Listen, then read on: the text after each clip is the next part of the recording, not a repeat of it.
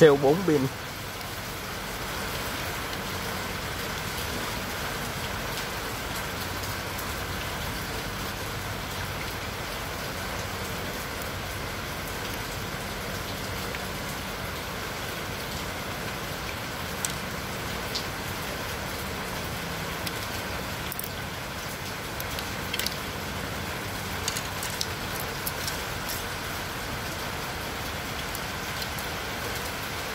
Bây xeo này nó cạn biến hết rồi hư hết rồi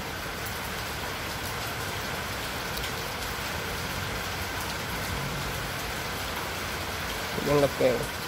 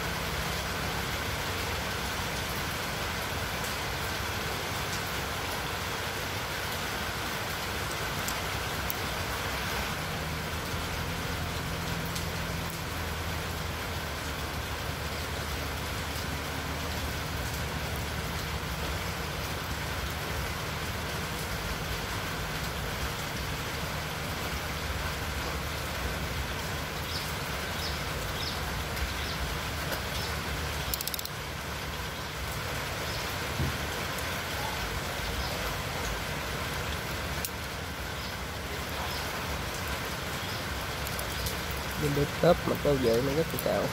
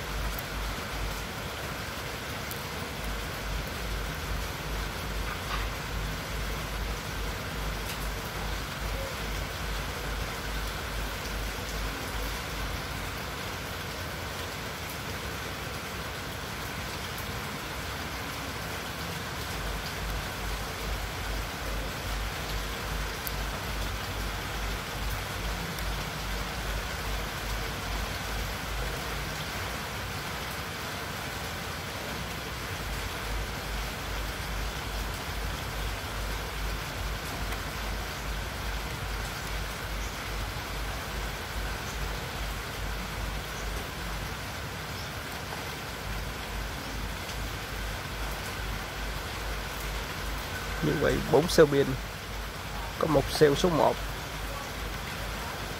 là áp còn rất thấp. Khả năng siêu này hư. Khi mình thay thế siêu này, rồi nạp đầy ba siêu kia là nó sẽ hoạt động được. Pin sẽ cầm lại. Rồi, chúng ta tháo siêu ra.